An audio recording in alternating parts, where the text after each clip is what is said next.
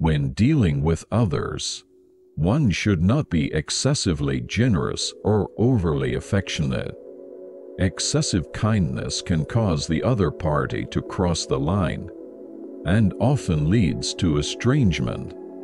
People tend to relate everything to themselves, yet if it does not benefit them, they act as if it has nothing to do with them. Even if someone has been by your side for a long time, keep in mind that they can be replaced at any time. People's attitudes change when their interests change. Thus, once you understand someone's character, you should know that it's necessary to deal with them accordingly. Everyone wears a mask it's impossible to know what their real face looks like or how they will change over time. Even in the closest relationships, we must acknowledge the nature of human beings. Therefore, instead of relying on the unstable outside world, we must rely on our own inner self. Humans are like hedgehogs if you get too close, you get pricked by their spines. One should not expect too much from others or from many things in the world. What do you hope to gain from others? Ultimately, everyone is alone. The important thing is who one is when they are alone. As Goethe said, in all things, ultimate humans must seek salvation from themselves. Betrayal is committed not by someone distant, but by someone very close. It's better to assume that there are only those who betray slowly and those who betray quickly, but no one who doesn't betray at all. Therefore, even in the closest relationships, if you have doubts, do not just overlook them, but go through a verification process. If you have doubts, don't show it immediately, but pretend to believe for the time being. Then, the other person will soon tell a bigger lie and their true nature will be revealed. And if you happen to see their bad side, remember it and adopt an appropriate attitude towards them. We must rely only on ourselves. A wise person lives happily and contentedly by themselves.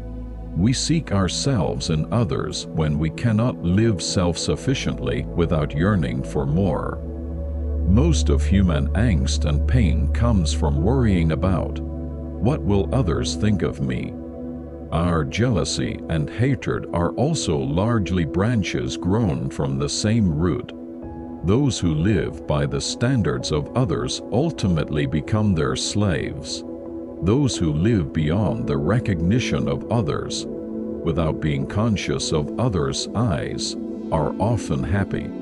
In order to be happy, we need to let go of the desire for honor, which values the judgment of others and a certain kind of vanity.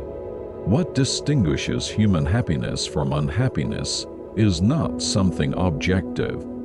It simply depends on how we feel and perceive it. People are captured by feelings of envy because they look at those in better situations than themselves. When people feel that others have more wealth or receive more love from others, they often think about their own misery. All unhappiness begins with comparison. Although jealousy is one of the natural instincts of humans, it harbors the thorns of immorality and unhappiness. Therefore, jealousy has long been considered an enemy and a constraint that blocks our happiness. We should try as much as possible to root out this instinct of jealousy from our personality like weeds. To be content with and enjoy what you have. You should not compare yourself with others. A person who envies and begrudges those who live better and have more can never be happy. To be happy, you should think about how many people are worse off than you. Looking for people who are less fortunate than you is the fastest way to comfort yourself. Think about how many people on this planet are less fortunate than you. There are people who cannot see or hear from birth, and people who cannot even afford a proper meal. They too are people who live with you in your surroundings. Think about how many people are following behind you, rather than how many people are ahead of you. The world in which a person lives changes shape depending on their perspective. We often tend to ignore what we have and think only about what we lack. This leads us down the path of unhappiness. We should always look below rather than above, and doubt whether those we perceive as happier than us are really just appearing that way, or actually hiding their misery. Are you currently envious of other people's situations? In fact, their circumstances may just be suited to their personalities not necessarily your. If you were in that situation, you might feel miserable and struggle, just as fish are happy in water, birds in the sky, and moles underground. A suitable environment brings happiness. Depending on how your mind moves, happiness and unhappiness can switch places. Let's forget the unhappy past that we cannot change as quickly as possible. And we should not lose our peace of mind because of an uncertain future. We know that an unfortunate event will never happen, or at least not happen right now. The same goes for relationships with others. To be happy, you need to live based on your own thoughts and judgments rather than clinging to maintaining relationships with others. The more we value others' evaluations, the more harm we do to ourselves, and the weaker we become. So we must control our instincts well, not be swayed by others' praise or criticism, and prioritize our own thoughts and perspectives. A person who does not care about the gaze of others or whether they are acknowledged by others is much happier. What's more important than the content or outcome of a task is how I think about that task. Those who live captivated by thoughts of what others might think are nothing but slaves. A slave always watches their master's expression and must follow their master's commands. Why would anyone act like a slave? making others their master. Ultimately, human happiness depends on how well we can stand alone. Nearly all the sorrow we feel arises from our relationships with other people. We waste most of our lives trying to be like others. All unhappiness begins in trying to fit ourselves to the eyes of others. A person can fully be themselves when alone. If they don't love solitude, they don't love freedom. Human socialization is not because we enjoy it, but because we fear solitude. I am me, inevitably. If I'm not ashamed of myself, others won't be ashamed of me either. All our unhappiness stems from our inability to be alone. Thus, we should develop a habit of loving solitude. People with outstanding individuality, by their very nature, tend to isolate themselves, which can be difficult in youth, but as they age, it can give them a sense of freedom. If it was hard to develop a habit of loving solitude in your younger days, now it can be a very comfortable and simple thing. In other words, the feeling of solitude becomes as natural as a fish meeting water.